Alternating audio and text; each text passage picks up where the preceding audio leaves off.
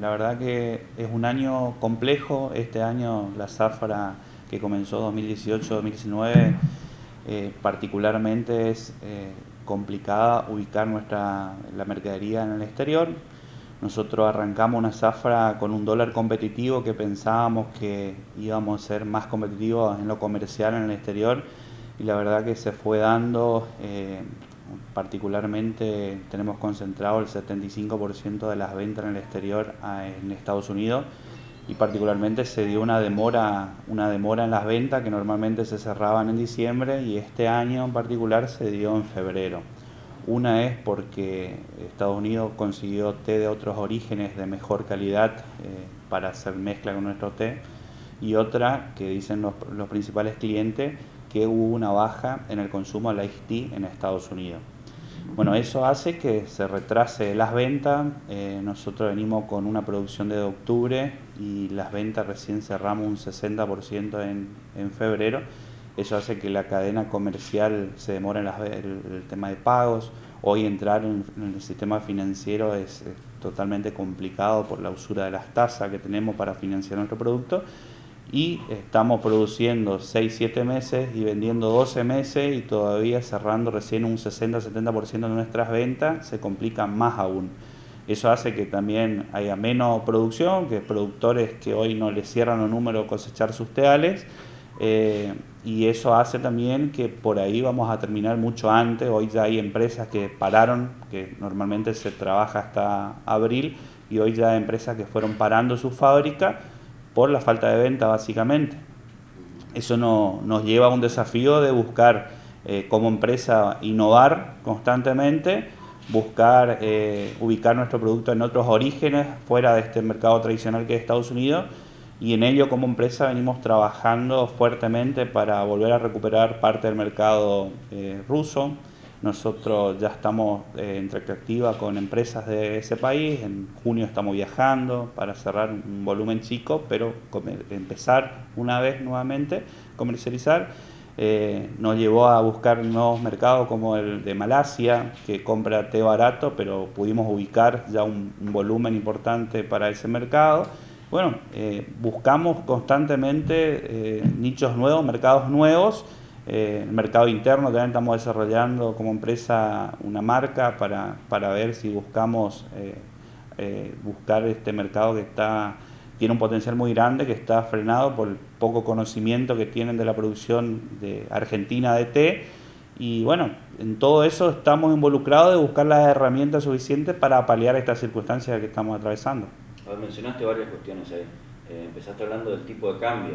Mm. Allá a mediados de, del año pasado, cuando el dólar llegó a 40, hasta 43 llegó, eh, parecía un tipo de cambio muy competitivo para la exportación, después los, los, eh, los costos internos se fueron comiendo un poco esa, esa competitividad. Eh, ¿Dónde estamos parados ahora?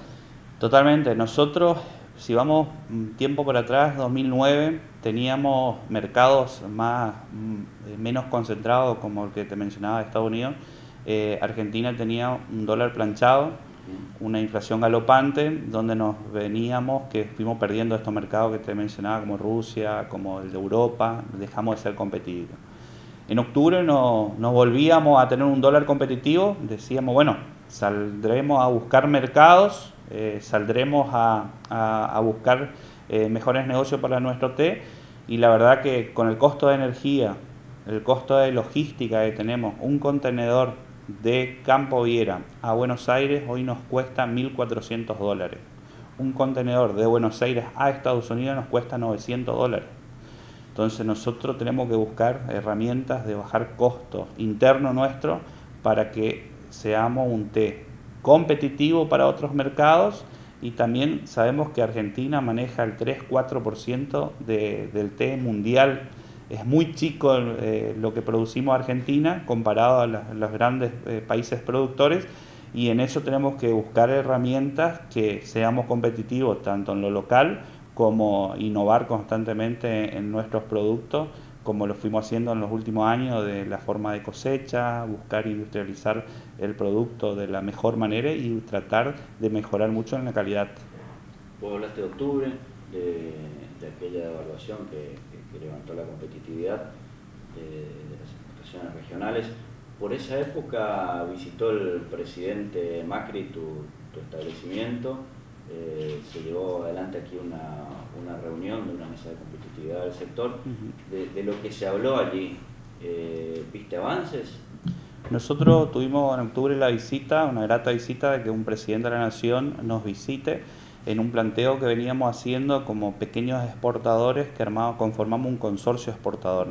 Eh, la empresa nuestra actual conforma un consorcio de cinco empresas, una cooperativa y cuatro, eh, privados, donde empezamos a desarrollar una agenda de eh, viendo esto, cómo se venía complicando y centralizando volumen en, empresas grandes, ver si podíamos nuclear un volumen grande en el consorcio y salir a buscar nuevos mercados y nuevos precios.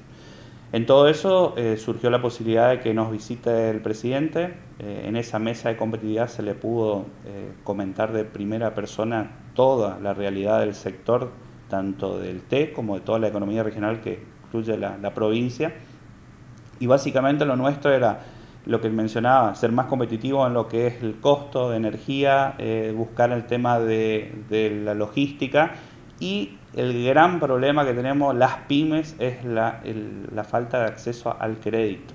Fundamental para sectores como el como el, como el derbatero que cosechan y tienen que aguantar esa eh, algún tiempo hasta que pueden vender eso. Que... La brecha de cosecha que empezamos en octubre, que te decía, y estamos vendiendo, eh, haciendo una cosecha de 6, 7 meses de producción intensa, de todos los gastos intensos, y exportamos durante 12 meses. Financieramente eso involucra muchísima plata de aguantar y el acceso al crédito que no tenemos como pymes, porque tenemos un contrato del exterior a veces de un millón, dos millones de dólares y accedemos al crédito en los bancos privados y el Banco Nación, accedemos a 300, 400 mil dólares. Y estamos hablando de que eh, financieramente necesitamos el 100% del contrato por, por, la necesidad y los tiempos de, de embarques que se demoran. Eso fue un planteo donde se cumplió a medias, eh, había un compromiso de, buscar herramientas, con el consorcio venimos trabajando en una agenda de, de, embajadas y de visitas internacionales, que eso sí se viene haciendo, ya se viajó a Chile, ahora se viaja a Rusia, a Europa, eh, eso se viene trabajando, pero la falta de acceso al crédito eh, se cumplió a medias, todavía las empresas del consorcio fuimos buscando alternativas, vamos a crecer en ventas comparado al año anterior, lo que integramos al consorcio, pero no pudimos crecer más por falta de acceso al crédito, básicamente. A ver, eso que explicaste está, bueno que, que, lo expliques de, de, un modo más, este, más, sencillo, digo. Eh, el, lapso de, cosecha es corto, son 6-7 meses, en, en, los que el industrial tiene que pagar toda la cosecha y después va vendiendo de a puchito durante todo el año. Totalmente. Los ingresos son como en pequeñas cuotas. Totalmente. Nosotros empezamos la cosecha a fines de octubre, principio de octubre, depende de cómo viene la temporada, y cosechamos hasta fines de abril, principio de mayo. Son 6, 7 meses que hacemos toda la inversión de la poda, la cantidad, el fertilizante, la aplicación del fertilizante, eh, la cosecha durante todo este periodo. Y los contratos normalmente veníamos cerrando digamos, los contratos de los compradores afuera, en diciembre ya teníamos una perspectiva, cuánto se vendió, cuánto de este tipo de té, de este grado de té, entonces uno iba adaptando su elaboración a la mayor venta que tenía. Este año se demoró, particularmente se demoró a fines de febrero la decisión de los compradores del exterior. Estamos hablando que nosotros producimos 75% para Estados Unidos, que hace el el té frío. Ellos consumen nuestro volumen a partir del verano de ellos es decir, que a partir de junio en adelante empiezan los volúmenes más grandes de, compra, de importación del té argentino para ese mercado. Y nosotros ya tenemos la producción completa en los depósitos. Entonces, es decir, a cuenta gota se va cargando una vez que tenemos toda la inversión hecha, pagado el productor, la energía, el costo laboral, los impuestos. Y bueno, eh, se complica financieramente si no tenemos acceso. Eso fue uno de los, de los límites que no pudieron desarrollar las pequeñas pymes. Las grandes por ahí fueron centralizando más volumen porque tenían más acceso al crédito, fueron adaptándose más rápido a lo que requería el cliente internacional, que fueron las certificaciones, es una inversión también. Nosotros contamos con las certificaciones de primer nivel, de lo que es tanto en las plantaciones como en fábrica. Eh, todo eso lleva a una inversión que hoy es muy cara el acceso tanto al crédito interno que en peso, que es una usura total a tasa, que ninguna pyme soporta, y otra es que el poco acceso a la prefinanciación, que si vamos, hoy tenemos unas tasas del 5 o 6% anual en dólares, que por ahí pueden ser que las pymes le pueda servir para aguantar la mercadería, pero tiene muy poco acceso. Y eso tiene una limitación de, de crecimiento también para la pyme, que por ahí tiene todas las condiciones dadas de de calidad de un producto certificado y por ahí no tiene acompañamiento del sector financiero para eh, desarrollarse más amplio. Eh, uno imagina que si la situación no, es sencilla para un industrial, para en las chacras se debe, sentir eh, también esta cuestión. ¿Cómo, ¿Cómo, estás viendo la realidad del productor? Mira, en mi poco tiempo enfrente de la empresa del 2009 estoy, yo creo que es uno de los años más complicados para el sector. El productor hoy, eh, los precios, los precios por la demora en venta no se están cumpliendo. El productor, muchos productores dejaron abandonados sus teales, van a hacer la poda y bueno, van a ver la próxima cosecha. Eso hace que lamentablemente estén pasando por un mal momento los productores de té. Nosotros como industrial, pequeño industrial, estamos haciendo el esfuerzo de cumplir con nuestros productores que ya tenemos, tenemos un porcentaje importante de arrendados, que trabajamos ya más de 10 años con estos productores, que venimos cumpliendo porque se le hace los pagos antes de iniciar la cosecha, uno trata de cumplir a rajatabla eso, pero el pequeño productor que dependía de entregar a un secadero chico hoy está pasando por un mal momento. Hablaste de la posibilidad de, de ganar nuevos mercados, algo fundamental para el té misionero que hoy depende en demasía del mercado de Estados Unidos. ¿Qué te parece que hace falta para avanzar en ese terreno, para llegar a los mercados de Europa, de Asia? Nosotros básicamente es la calidad del producto nuestro. Nosotros haciendo calidad podemos ver para conquistar ese mercado. Nosotros eh, buscando la, herramienta de tener ventas del té, buscar más barato, fuimos yéndonos más del té negro al producir BT, que son los palos del té y hoy hay demanda, hoy hay demanda de EBT, te digo que todos los industriales del, sector estamos con stock de, té negro y el palo se vendió todo, que es un té más barato. Entonces busquemos herramientas suficientes, nosotros como empresa estamos desarrollando un plan de negocio, como te decía, del consorcio, de visitar varias, varios países que potenciales compradores también ya estamos haciendo un cruzamiento de muestras, buscando las muestras que ellos nos envían de cómo nosotros tenemos que adaptarnos a la calidad que requieren, enviar nuestras muestras y buscar conquistar esos mercados nuevamente. Es un, un, camino largo de transitar porque mercado que se pierde es difícil volver a recuperar por la confianza misma pero lo estamos haciendo paso a paso. Eh, como decía, mercado ruso ya estamos en diálogo, ya estamos cerrando algunas operaciones puntuales. Eh, Malasia es un mercado totalmente nuevo para nosotros. India, estamos, más allá que son mayores productores de té, también les sirve algún grado nuestro, estamos buscando. Eh, alrededor nuestro acá, Perú, por cápita es un consumidor muy grande de té. Chile, imagínate que Chile tenemos el país vecino que hoy por cápita consume siete veces más que Argentina y importa de Vietnam, importa de India, importa de Kenia, y nosotros teniendo un vecino acá que podemos eh, buscar este mercado, pero que requieren calidad. Y nosotros apuntamos como grupo de consorcio y como empresa particular buscar adaptarnos a la calidad de ellos para poder ver si podemos conquistar, eh, recuperar esos mercados. Eh, nuestro mercado interno consume poco, ¿se podría hacer algo como para incrementar esa demanda?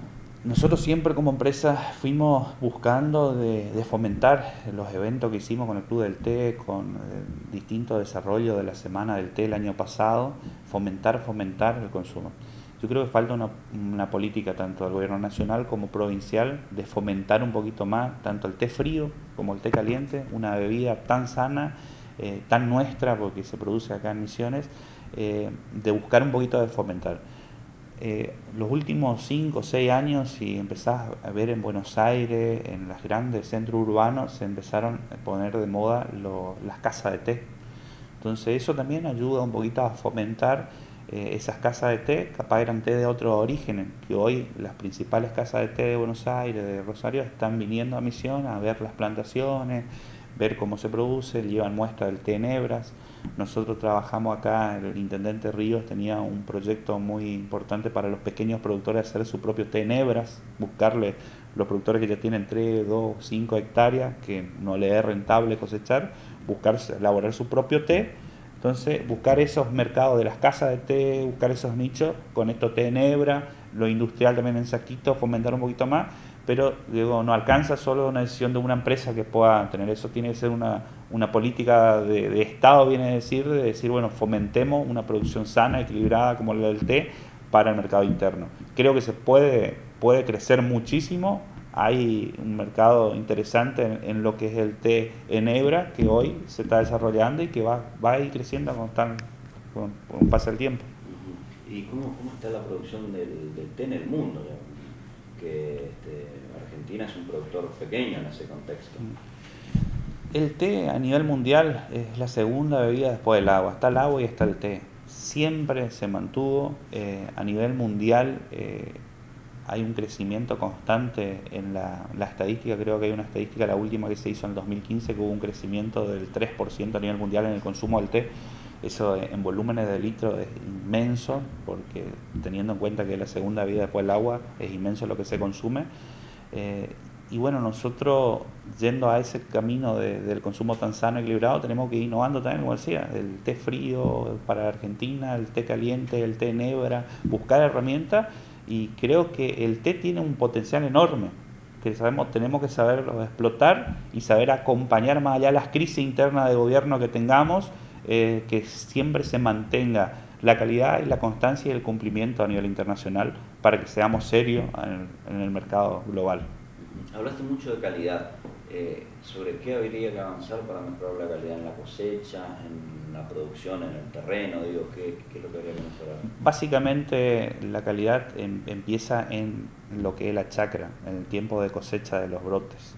En el último tiempo estamos haciendo volumen y no estamos haciendo calidad si uno cosecha en menos tiempo, un broto más chico, trae el proceso, el proceso de la fábrica es muy fácil ajustarnos a hacer un broto chico o un broto grande, pero tenemos que tener conciencia de cosechar chico para que se elabore tener. Pero en los últimos años nos ha acompañado al mercado, siempre se hizo lo que, lo que se vendía y se vendía mala calidad. Y bueno, hoy estamos pagando consecuencias de no haber hecho algo también de calidad y no tanto lo que demandaba el mercado, hoy tenemos que buscar con ya un volumen importante en los depósitos, que tenemos que ver cómo ubicar ese té, eh, buscar nuevos mercados, pero el nuevo mercado te requiere calidad, entonces hacer un mix de decir, bueno, hagamos lo que el mercado demanda hoy que compra, de que no es muy buena la calidad, pero también hagamos calidad para ver si podemos conquistar nuevos mercados, para tener un equilibrio en lo que hoy no tenemos en el mercado del té argentino.